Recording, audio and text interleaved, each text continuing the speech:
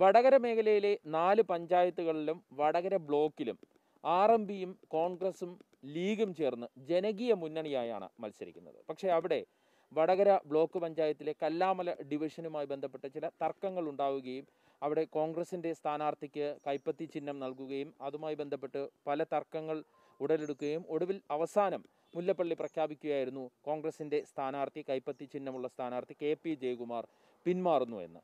അതിനുശേഷം ജയകുമാർ എന്തു ചെയ്യുന്നു?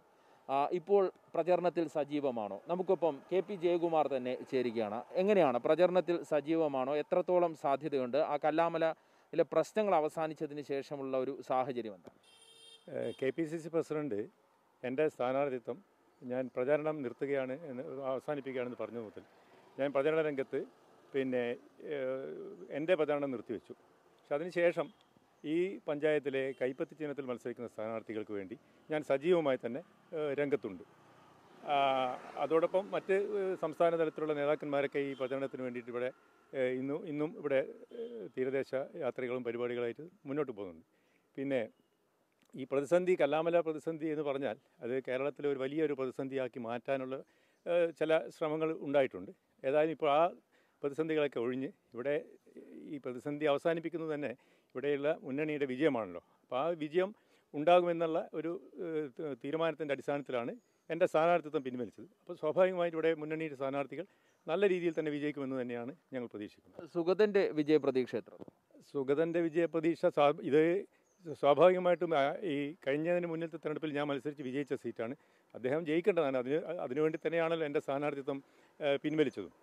അപ്പോൾ സ്വാഭാവികമായിട്ട് സുഗതന് വിജയം ഉണ്ടാകുമെന്ന് തന്നെ അദ്ദേഹത്തിന് വേണ്ടി താങ്കൾ പ്രചരണത്തിന് ഇറങ്ങി.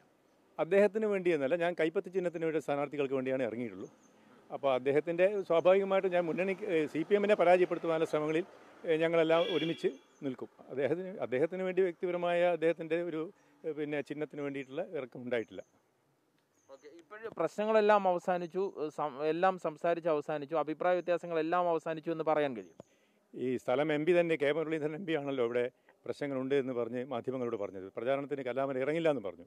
അപ്പോൾ അദ്ദേഹത്തിന് തന്നെയാണ് ഈ വിജയത്തിന്റെ ഇവിടെ വിജയിപ്പിക്കേണ്ട പ്രധാന ഉത്തരവാദിത്വം ശ്രീ കെ. മുരളീധരനാണ് എന്ന് ഞങ്ങൾക്കറിയാം. അദ്ദേഹം ഇവിടെ പ്രചാരണത്തിനുണ്ട് അപ്പോൾ ഇനി ഇവിടെ പ്രചാരണത്തിൽ പ്രശ്നങ്ങളുണ്ടാവില്ല. അദ്ദേഹം വിജയത്തിന് നേതൃത്വം കൊടുക്കുന്ന ഒരു സാഹചര്യമാണ് ഇവിടെ ഉള്ളത്.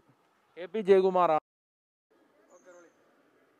കൈപ്പത്തി ചിഹ്നത്തിൽ മത്സരിക്കുന്ന സ്ഥാനാർത്ഥികൾക്ക് വേണ്ടി മാത്രമാണ് താൻ പ്രചരണത്തിന് ഇറങ്ങിയത് എന്നാണ് കെ. പി. ജയകുമാർ പറയുന്നത്. കെ മുരളീധരനാണ് യു ഡി എഫ് സ്ഥാനാർത്ഥികളെ അല്ലെങ്കിൽ ജനകീയ മുന്നണി സ്ഥാനാർത്ഥികളെ വിജയിപ്പിക്കേണ്ട പൂർണ ഉത്തരവാദിത്തമെന്നും കെ പി ജയകുമാർ പറഞ്ഞു വെക്കുമ്പോൾ കല്ലാമല പ്രതിസന്ധി സൃഷ്ടിച്ച പ്രശ്നങ്ങൾ അവസാനിച്ചിട്ടില്ല എന്നുള്ളത് അദ്ദേഹത്തിന്റെ വാക്കുകളിൽ വ്യക്തം.